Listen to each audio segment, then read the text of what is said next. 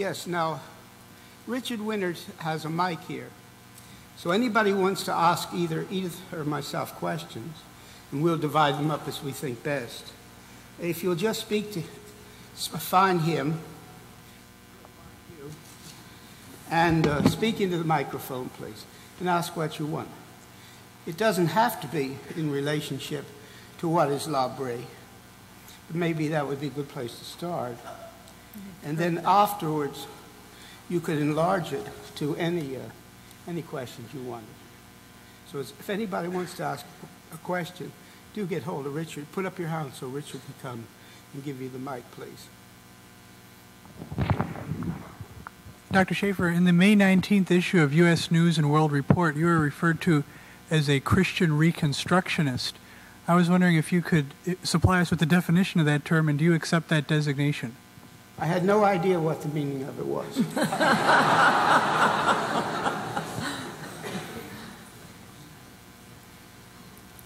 I really hadn't.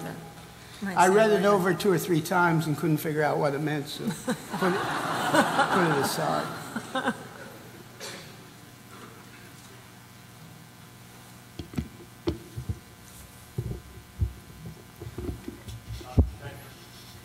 This on? Uh, I'd like to ask you two questions. The first one, sir, is how are you feeling, and and as to your general health. And the second one is uh, more substantive and relates to a concern some of us have. You have spent a great deal of your intellectual life in talking about the deficiencies that have come to the Christian faith because it has been wedded to humanistic philosophy. And specifically, you've referred to uh, Augustine's wedding, Plato, Aquinas, Aristotle, and the Neo Orthodox tradition embracing some of existential thought. I wonder if you would comment on the current tendency for much of your work to be wedded to traditional conservative humanistic political thought. Yes, the, as to the first question, just today I'm terribly tired because we traveled all the way from California. Uh, but Edith and I uh, really consider a miracle that I'm, that I'm still living and able to work.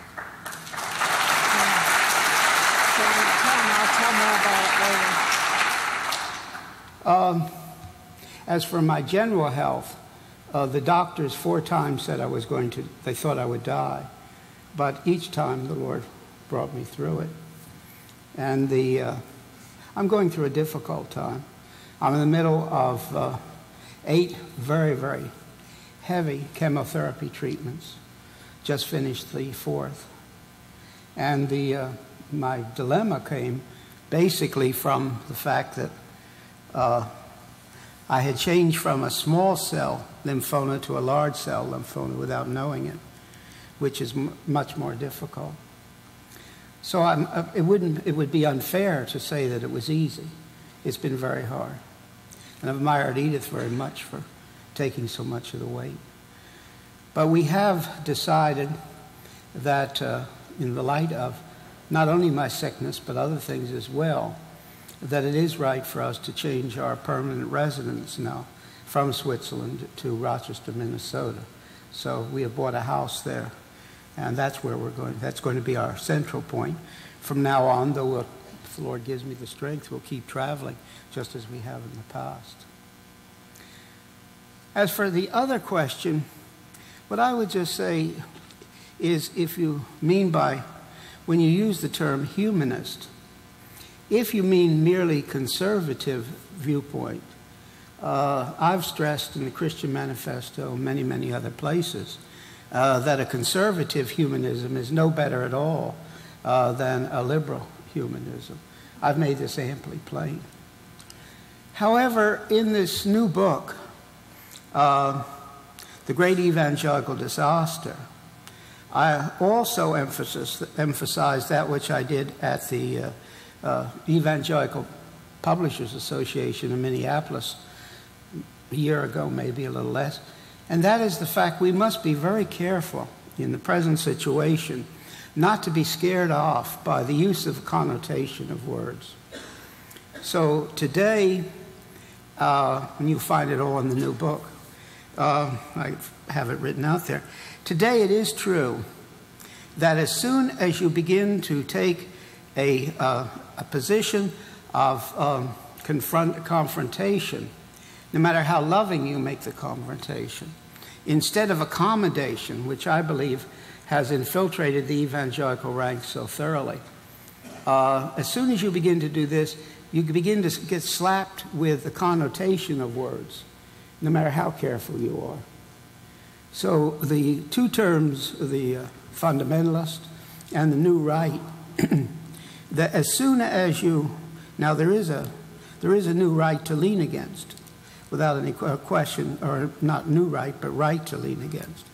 At the same time, we must not back off and be afraid to raise our voices in confrontation just because we're slapped then with a connotation of words. Uh, I usually don't use either the word, any of these words for myself. I call myself a Bible believing Christian and have since the 30s. Uh, but having said this, the connotation of words is used as an instrument to scare us off, and we mustn't back off because of this. This is the way Ken Woodward, for example, in the Newsweek article he wrote about me, uh, used the word uh, used the word fundamentalist. He, he did it as a, as a put down. And what I have found is that too many Christians, as soon as they, these terms are slapped on them, they back off in fear. We mustn't do that. We must realize that, of course, there is a right to lean against.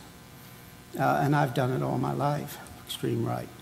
But at the same time, at the same time, the evangelical establishment, as I stress in the new book, and we have, we've just come off this series of 11 seminars with Franky. He had one more, and this is the whole was the whole this was our whole thrust. My new book, his new book, and then the film, and the seminars, and that is the fact that evangelicalism uh, has been deeply, deeply, deeply infiltrated with the mentality and knee jerk response of accommodation to everything that comes along. Now, when we begin to speak out for, uh, for, uh, for a loving confrontation, but confrontation rather than accommodation, because if truth is truth, it demands speaking out. As soon as we do this, we're going to get hit with these connotation words. And we must think it through what is just, what isn't just, and not be afraid just because these connotation words are, used against us, is what I would say. I think this is the real answer to your question.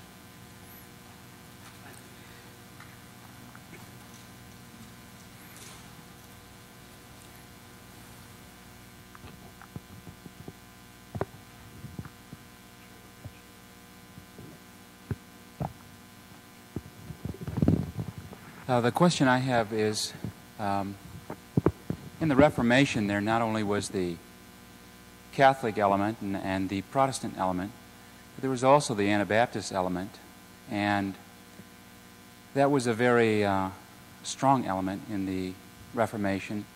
There is a very strong and outspoken uh, resurgence of Anabaptist viewpoints, especially in the area of uh, nonviolence and a nonviolent uh, response to the world in which we live. And uh, in the area of the book that John Howard Yoder has written called The Politics of Jesus and the issues that are raised in those uh, discussions on the Sermon on the Mount and those kind of things, what would you uh, give us as a, uh, a safe statement of, about the relevance of the politics of Jesus in our in the pressures of our modern day world, with uh, reference to things like uh, nuclear war and that that sort of thing. Says you have to go back and look at the Anabaptists all the way to the beginning, and you're quite right. This was a preachable element in the Reformation period. Uh, however, as you come to the Mennonites and those who follow in the stream, uh, they make what I consider to be a basic error. And that is, Jesus tells us to turn the other cheek when we're hit in the face. And I just say to all of us, surely none of us do this sufficiently. none, none of us in this room, sufficiently turn the other cheek. But they have always made what I consider and what a lot of other people do as well, but it's definitely my opinion, an unwarranted, a very unwarranted extension. And that is also saying the state should never use force to protect its people. And this is a very unwarranted ex extension. And I think the root of it comes really from not emphasizing sufficiently the fallenness of this world. So, consequently, what you have is a projection of a, a utopian projection. Uh, and you can get that in Ron Sider's books and some of these others. Uh, a very much of a utopian projection. Uh, that in the present geopolitical situation in the world, for example, uh, that we should let down our guard entirely against, uh, against the Soviet bloc and uh, even, uh, even almost invite the Soviet forces into the United States with flowers in our guns. Now, no, this is truly, this has been said. Now, I think, I think that utopianisms in a fallen world always bring disaster. Any utopianism. Because we live in a fallen world. And if anybody would ask me what I think is maybe the greatest weakness of many, many Christians, is that they simply, they might fight like mad against the liberal theologian uh, for the first three chapters of Genesis, including the fall, theologically. But I would just say, from my experience, most Christians don't live realistically in the light of the fall. And I would switch it from your question for a moment. Uh, when, when I go into one of the hospitals, there's two hospitals connected with Mayo Clinic, and talk to somebody who has just found, a Christian has found they've just found they've had cancer. Uh, and the question comes, why has this happened to me? The thing, the answer uh, certainly, the most basic answer, the most important answer, is to remind them of the fall, that we live in a fallen world. There's lots of things in this world we don't like. I don't like my cancer. I just don't like it. But on the other hand, I have to live with it in the light of reality on the basis of a fallen cause and effect world. Now, the, I feel this is the, the uh, of tremendous danger uh, at the present moment in the evangelical ranks. There are several issues which stand out as, as central. And again, I would urge you to take the book and go over it carefully because I spelled them out there. The places where the world spirit of our day has infiltrated the evangelical ranks. And the most uh, crucial of these is uh, letting down in much of the evangelical circles, uh, in many of them, of the uh, uh, concerning Scripture. The Scripture is now taken and viewed in many evangelical seminaries, unhappily, and we ran into it in our seminars. Uh, the Israeli Scripture is looked at in the neo Orthodox way, or the existential methodology, however you want to express it. Uh, another is uh, matter of human life that the evangelical circles have been extremely weak in providing leadership in fighting for uh, a unique value of human life. Extremely weak. Our, our journals, our, uh, our evangelical leadership has simply not provided it. But an another one of these would be in this area, I think, of a utopian view of the geopolitical situation so that it leads to a pacifism and it leads to such uh, such things of unilateral disarmament as a freeze or we won't shoot first, this whole type of thing. And I would just say, when the peace churches, the Mennonites and so on, uh, put this forward, it's not surprising because it's been their historic position. If, on the other hand, they and the liberal theologians who unite at this point, because the liberal theologians are all on this side too, but for different reasons, uh, if they had their way and could influence government policy uh, in this direction, I think it'd be a terrible tragedy. But when, uh, and what it does is violate to me the law of love. Those people behind the Iron Curtain deserve our love. And it's a terrible thing to play down their persecution, the Christians' persecution. And it's a terrible thing to turn our back on Europe uh, and the just turn it over to the uh, Soviet expansionism. But when the evangelical uh, begin to fall into the same rank, I personally think it's not only a tragedy, but it's something that we must uh, actively speak out against. So this is my position. Schaeffer, I'm a, a member of a very liberal denomination now and have spoken out a number of times with regard to trying to return to evangelical thought. And one of the concerns uh, been trying to figure out what kind of criteria with a lot of prayer and a lot of uh, thought being given whether a person should stay in a liberal church uh, or should change and go to a more evangelical and Bible believing church. Can you give any assistance with the criterion or Yeah, I would say it's a matter of individual conscience, but I couldn't be in a liberal denomination. I just couldn't. I left the big Pres- Northern Presbyterian Church back in the 30s with at the time of Machen and the other men, and I'm glad I, had, I'm glad I did. Because all these liberal denominations get continually worse. And I would say the, I would say the, uh, uh, it's very interesting. If you take the people who stayed in those denominations back in the 30s, they never, never would have visualized that in the liberal denominations today they would be out speaking so blatantly in favor of abortion. Uh, it could be considered a victory to not have women uh, uh, and homo- lesbians and homosexuals ordained. Uh, the thing has changed with remarkable speed. Well, that isn't quite true because it's been 50 years. But having said this, I would just say it's still a matter of individual conscience. But there's one thing I think isn't a matter of individual conscience, and that is when it becomes impossible to bring discipline against avowedly liberal uh, pastors and theological seminary teachers in the denomination, when the possibility of discipline comes completely to an end, I, I don't believe that uh, it can, it's possible after that to stay in these denominations without thinking through what you've accepted. What you've accepted, if you stay in them then, after discipline, is, is completely ruled out. For instance, in the big Northern Presbyterian Church in, in a California presbytery, they have just, just accepted Professor Hicks from England uh, in the, uh, as a pastor. And he, after all, he's written a book speaking in the myth, uh, mythology of Jesus. He believes the thing of Jesus is a complete myth, yet he's accepted in the, in the, uh, uh in the presbytery as good and regular member of the presbytery.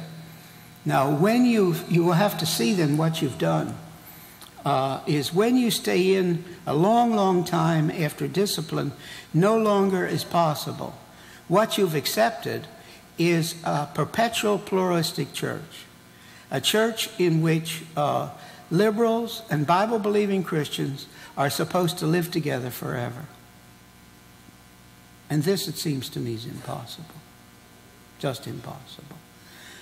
Where every, all the central things of the faith uh, are, are accepted. So I, I, I would come back to the starting place. It's a matter of individual conscience. And I've never, I don't urge people to come out of liberal denominations, though I could not be in them. But I would lay upon any Bible believing Christian in a liberal denomination that when, the, when it becomes impossible to have discipline against those who quite openly uh, disavow the central things of the faith, you've accepted in a, the Church of Christ uh, to be confused with the world. And the church is not the world.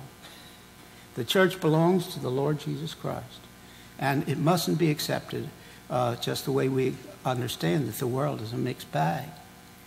So be careful what you're doing. Not say don't be in a hurry, but pray about it, think it through. But you see, I think the emphasis, as I again say in the new book, is on the purity of the visible church. And there is a call for, uh, in the Bible, for the purity of the visible church, the visible church. Uh, there's a call to that. The church is not the world, as I've said. Uh, and when it becomes impossible to have discipline, no matter how gross the unbelief, then what you're really doing is saying, I'm going to set the whole concept of the purity of the visible church aside, And instead of that, we'll have a pluralistic church forever. So, uh, Doc. Is this still going? I'd like to say one further thing. Um, I've just been struck again with the uh, need of relaying truth to the next generation, whether your own children who are going to church with you or other people's children whom you are drawing there. If you are teaching a good class, they're coming there and joining in and so forth. I've been struck very recently again with the responsibility um, in having a, uh, a fellow come, a, a, boy, a college student, come to the L'Abri in Rochester. Uh, he was one who sat eating my sandwiches I spoke of making earlier. Uh, a few sun, couple Sunday nights ago. He spoke of um, being very serious in his asking questions in a Presbyterian college that he is attending um, of his his Bible teacher, his his uh, uh, religion teacher, I guess he is called, asking questions concerning the atonement of Christ, what all this was about, and so on. And very obviously, I won't give all the answers, but they were shocking. The man did not believe at all uh, that Christ was the Son of God, nor that his atonement was, was an atonement, nor that we needed an atonement. And he had a very dim view uh, of anything concerning sin or the need of, of uh, salvation. This boy was, um, was upset and uh, needed to have help in giving answers. Someone else who, who would not be upset enough to go out and search for answers would simply be lost. Um, I would speak of that, that aspect um, of responsibility to the next generation. We're told to tell our children and our children's children uh, the truth concerning God, and we're to expose them to the truth. So that is an aspect that I think is very serious. Is this on? Yeah, Mrs. Schaeffer, I want to thank you for uh, your writings. They've meant a lot to my wife and myself, and they always help me when it comes around time for gifts because you're such a prolific writer. Every Christmas, birthday, uh, I have something on hand. And uh, in the first year of our marriage, we used to, after dinner, uh, we re- read together What is a Family? and it has uh, had a real positive effect. Dr. Schaeffer, I'm a product of uh, what you once called the new super spirituality, the Jesus movement, and many other things. And discovered your works. They meant uh, have influenced me a great deal, and moved from that into uh, graduate school and now teaching English in, in, a college setting. And one of the things I enjoyed and opened a new avenue for me in your works was the examination of cultural phenomena such as uh, film, uh, literature, art, from the Christian perspective. And you talked about, uh, these, these weren't your words, but the trickle down effect, in a sense, from philosophy down into the arts uh, uh, over periods of time, uh, such that, so that existentialism you saw in much, much of what you spoke about and wrote about in the 60s and, and what we were seeing in film, reading, seeing on television. what do you see what is trickling down through the film, films, the literature, the art of today, uh, even literary theory such as deconstructionism. Uh, what, do you, what is your comment today about uh, cultural events of our society and what philosophically uh, is behind them? Yes, I think you have to couch everything in your thinking if you're going to understand the world spirit that surrounds us in the realization that today people do not believe in truth. The concept of truth, what I call true truth in my books, meaning absolute truth, which is truth for everybody and not just personalized truth, not just I have my truth, you have your truth. The concept of absolute truth is really gone today. Uh, you can see it in the philosophy, in the schools of philosophy, in that after the death of logical positivism, when Polanyi killed that, and the uh, an existential, a formal existential philosophy. There is no dominant philosophy today uh, being taught. It's very esoteric. Every every philosophy teacher has his own philosophy, and the uh, what we've come to then in philosophy uh, is, the, uh, is the fact that there is no basic philosophy giving a uh, dominant uh, position, uh, a floor from which there comes a trickling down, or however you want to word it. Now, this, however, and however, this is caught on very much out into general thinking. So while existentialism as existentialism is no longer taught as a, a very dynamic philosophy, which is uh, it was on the continent a certain number of years ago, really, I think, unless we who are Christians understand that everybody today, everybody, of course, is always strong, but close to that, everybody is thinking existentially. Unless we feel that, our uh, understanding of what surrounds us and our children, and therefore the danger of infiltration by it. And on the other hand, a weakness of evangelism if we don't understand it. Because when I come up to people, to, real people today, some people have thought it through, some have just been influenced on a more superficial basis. And I say Christianity is true. Now that means something to us if we're really Christians. But for a real 20th century person, it doesn't mean what it means to us. Because it doesn't mean I'm saying Christianity is true as an absolute, but it's a truth that works for me. So, what you have today, what we're surrounded by on every side, is the factor of a loss of a concept of truth. Now, this is what is influencing, I would say, the cultural setting. And uh, that would be everything from high art uh, to uh, architecture today, uh, to theology, uh, to, uh, to what you see on your TV screens. You have to face this.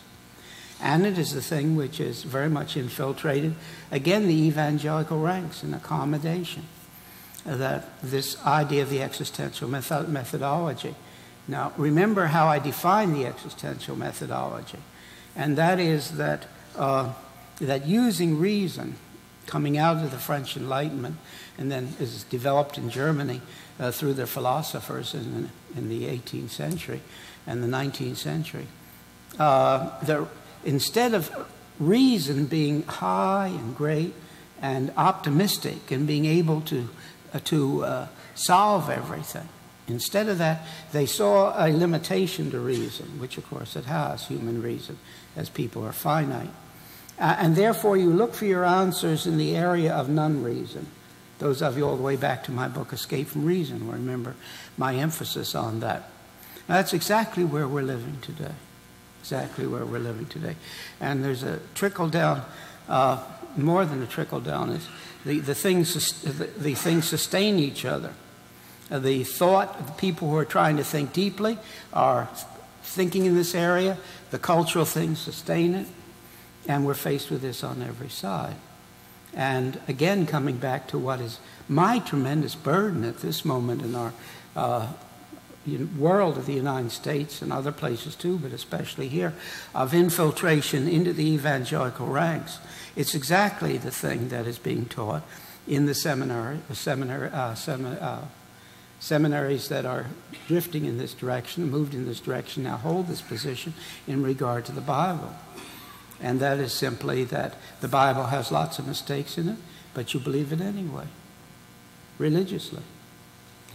And uh, this can be transferred not only into theological realms, uh, but into many, many others. So if you take a magazine like Christianity Today, uh, they present both sides of the question. Then they walk away. There's no leadership there for what is right and wrong, even on an issue as clear as abortion. Uh, you present both sides of the case. And you walk away. And they may not know it. I'm not saying they consciously realize that they have accommodated, but they have accommodated to the, to the mentality of our age. And the, uh, the mentality of our age is there is no such thing as truth. And as I open the open the book, uh, The Great Evangelical Disaster, I point out that what we have come to, and it's overwhelmed us in this country, is that everyone wants to have total freedom for themselves. They want to totally have freedom individually for themselves. Why? Because there is no truth. And it's our problem, problem with the Supreme Court. Uh, they rule this way. There's no real basis for their law, there's only sociological law. It's on every side. And those of you who have studied my book carefully, uh, How Should We Then Live, will remember that in it, it wasn't specifically uh, uh, speaking against abortion, though it did that too, but pointing out that uh, in the growth of thought up into our age, uh, that the, uh, the abortion ruling, the concern that the Supreme Court gave, was a perfect example of sociological law, that it was totally arbitrary, both medically and also legally. But this is everywhere today.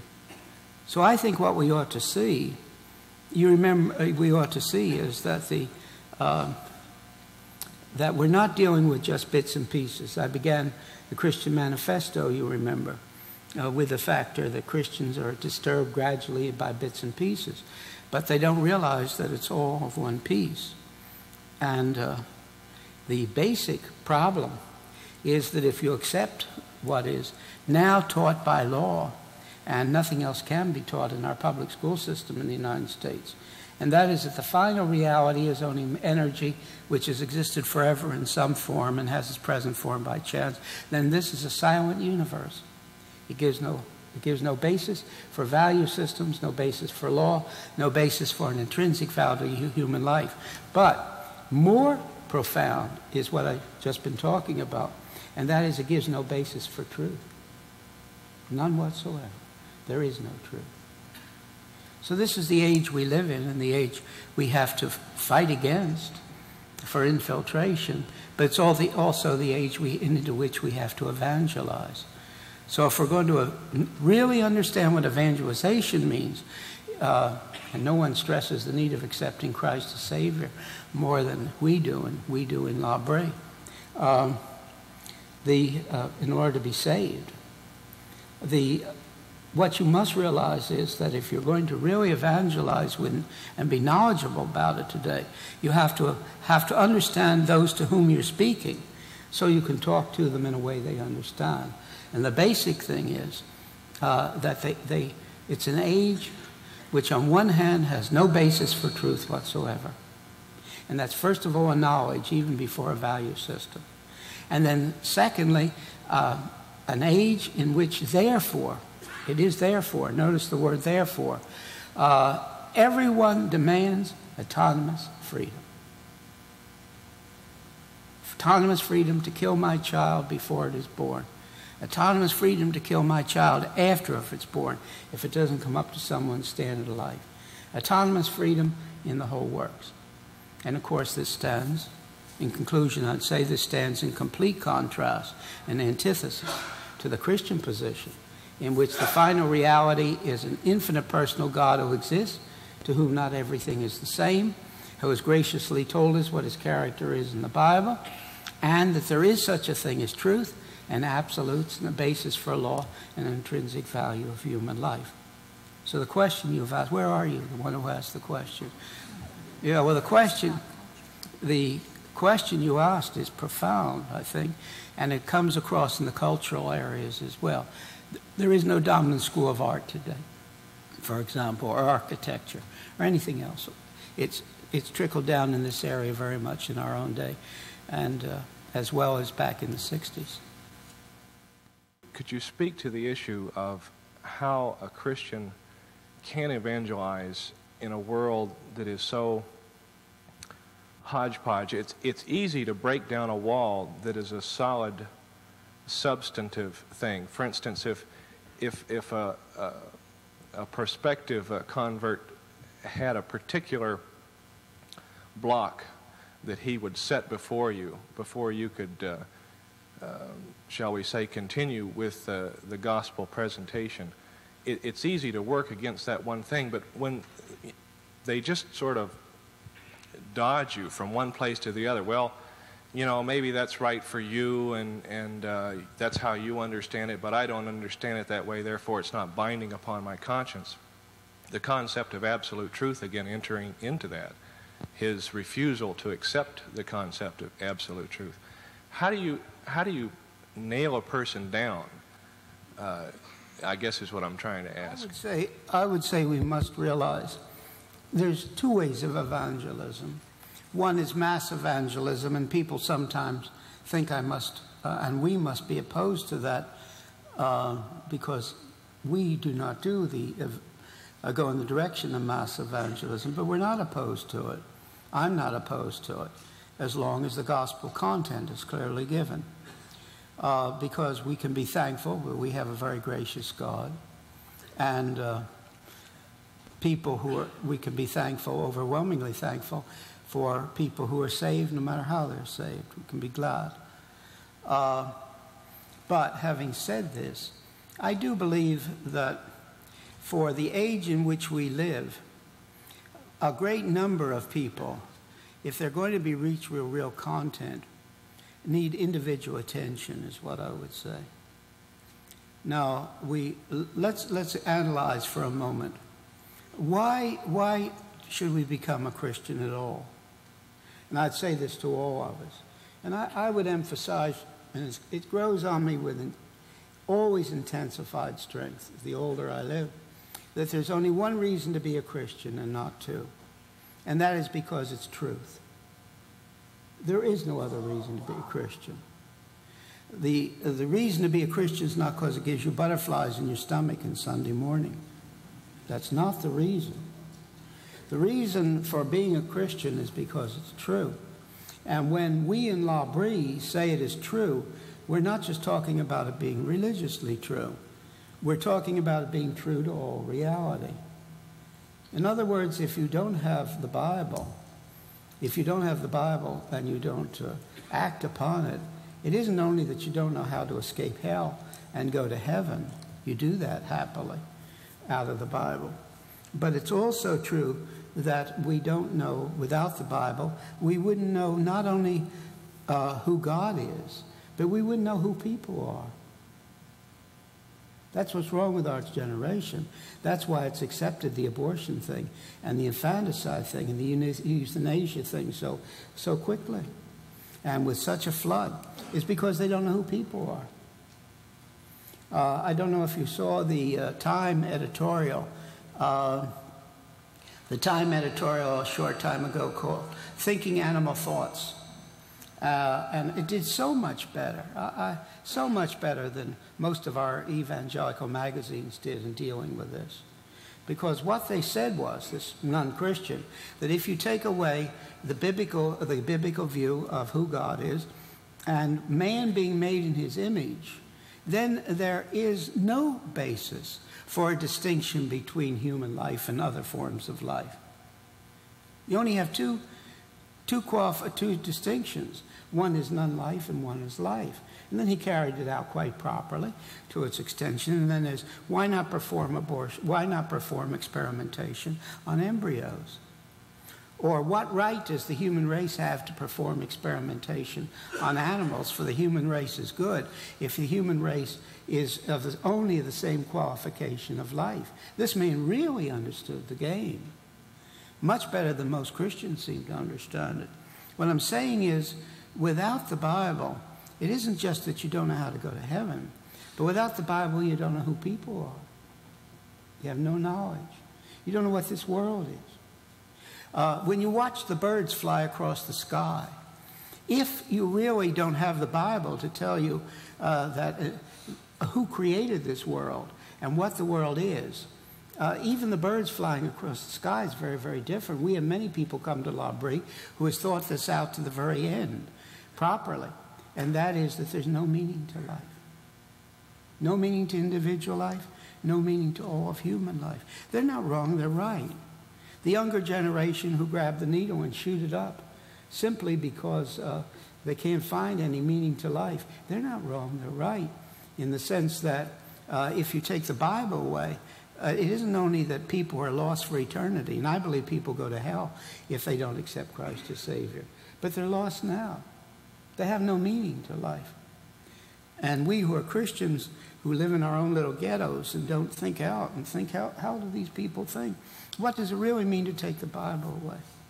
Now, when we come, when we come therefore to the question of evangelism, uh, the, the, dilemma is uh, getting across to people uh, the, the, full meaning, uh, the content of what Christianity teaches. And as some of you have heard me say before, uh, Christianity does not begin with accept Christ as Savior. Christianity begins where the Bible begins, and that is in the beginning, God created the heavens and the earth. That's where it really begins. Without that, the word accept Christ as Savior uh, and I, is only one more trip. That's all.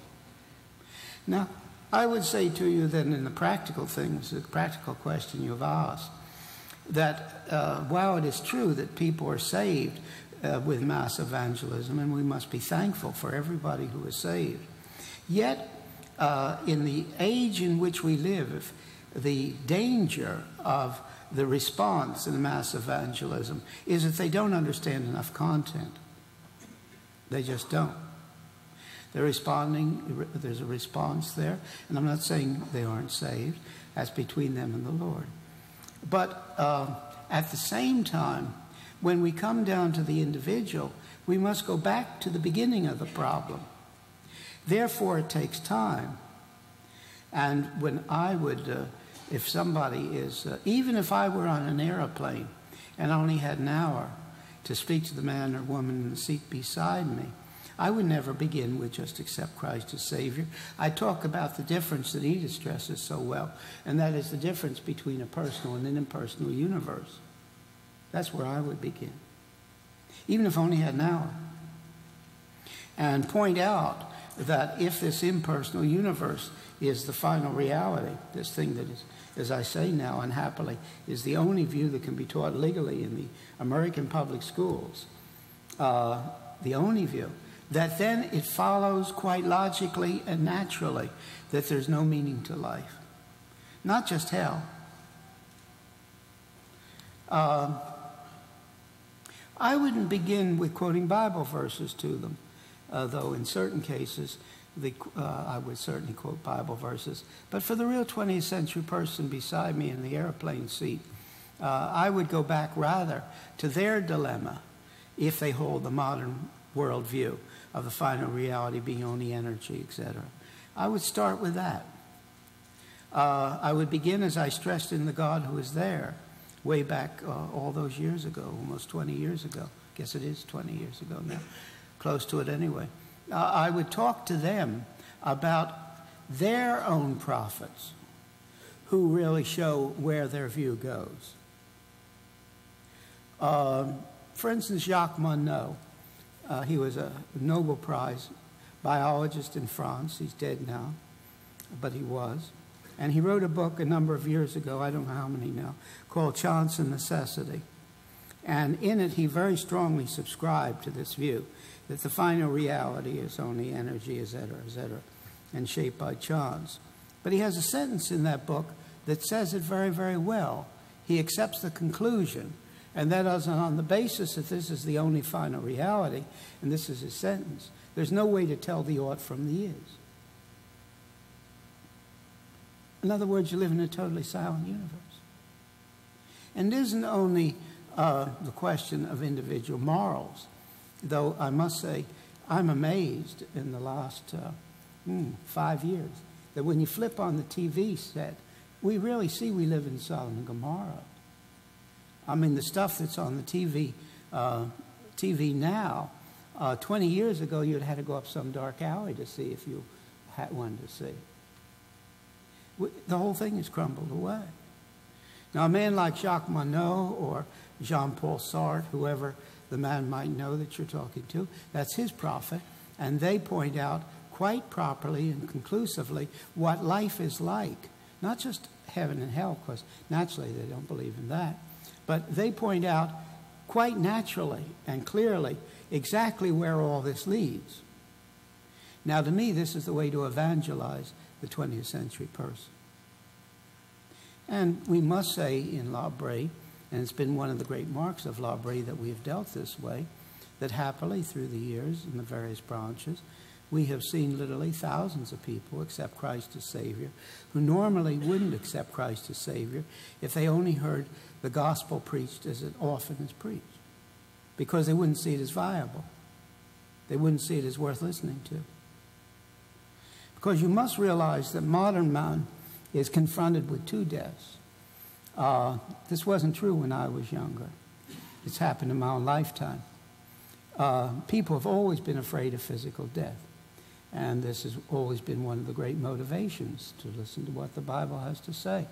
Quite properly, people ought to be afraid of physical death uh, if they're not uh, saved, because there is a heaven and there is a lostness. But modern man is caught with a second death, uh, because modern man has thought through his conclusions further than previously. And that is, modern man also believes that life is a product of pure chance human life. Uh, pure chance. And that one day this planet will either grow too hot or too cold. And when it grows too hot or too cold, all conscious life will pass away upon this planet. That's really the, whether people realize it or not, one of the great drives toward all the modern, uh, modern uh, enthusiasm for E.T. and Close Encounters and all the other films. And they realize very much this. Then you have to add to that uh, that thou, though it wouldn't make any difference at all to Christianity if there was life somewhere else in the cosmos, yet, nevertheless, there is no proof that there's life anywhere else in the cosmos. E.T., Close Encounters, all this rash of uh, outer space business, it's all purely uh, based on, it's, it's based on thin air. There's no empirical proof whatsoever there's life anywhere else in the cosmos. Now, remember what I said, though, it wouldn't make any difference to Christianity if there were. But uh, there's not any proof. Therefore, if we have only to look down in my own lifetime to the time when I get to be 70 or 80 or something, and I die, and that's the end of me, and I'm going nowhere, and if the whole human race is going down the road, so that somewhere down the road uh, there'll be no conscious life left on this planet, modern man faces a double death, therefore an individual death and a cosmic death. Now, this is a point, and, uh, uh, and therefore, then there's feedback in no, meaning, uh, no meaningfulness uh, in the present life. Now, to me, these are the points of, uh, of uh, real contact for the 20th century person. So, if people accept Christ as Savior on a, a, a more simplistic basis, we can be thankful. But we have to recognize that uh, what kind of an age we live in, as I say, there is no truth to modern man, no meaningfulness of life. Uh, everybody, according to modern man, everybody's living out some kind of a game plan whether it's knocking one tenth of a second off your downhill ski run or whether it's making one more million dollars. But all you're doing is making a game plan within the midst of a meaningless situation. And Woody Allen exploits this very strongly in his films. He really, he really lives in this area. I, I feel for that man. And he has expressed it so thoroughly in uh, Annie Hall and Manhattan and so on. Now, when you come to this, then, uh, you come to this, you must realize this is where modern man is logically. Uh, and we should be we should understand that Christianity does not just solve the simpler problems, but Christianity beginning with a statement that in the beginning God created the heavens and the earth. And then a real fall, a real fall, and then the solution in Christ Jesus. So we have the metaphysical answer of being in the fact that in the beginning God created the heavens and the earth. We have the moral answer in that now that we all sin uh, in the death of Christ, we should recognize that Christianity is, uh, isn't, a very, isn't a small message. It's a very dynamic message, an exciting message. And this should be, as I see it, the basis of our evangelism. So I hope it, it isn't a matter of being so complicated. When I deal with a very simple person uh, who still has a feeling of right and wrong, these other things, and still has some kind of a Christian memory, then the, uh, when I deal with them, or when I deal with the real 20th century person, as I've just described, when you get down to the end of it, you're saying the same message in the same words.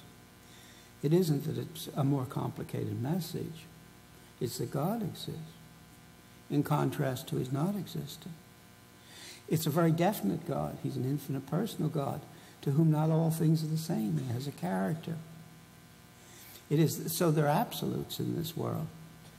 It is the fact that we live in a fallen world, as I said before, we must take the fall seriously in all the elements of life and not live in a romanticism and a utopianism. And then I look at myself and I'm a sinner. And I know I've done deliberately those things that I know to be wrong. And then how do I approach this, this God who exists? Well, in his graciousness, he has, he has supplied the way through the propitiation uh, of, uh, with death, of the death of Jesus Christ uh, on the cross. So the message is all there. The interesting thing is, if you're dealing with a very simple person, and you're dealing with the most complicated, uh, complicated person you will ever meet, when you get done, you give the same message in the same words. But we got to be careful with our evangelism not to leave out the majority of the people who surround us.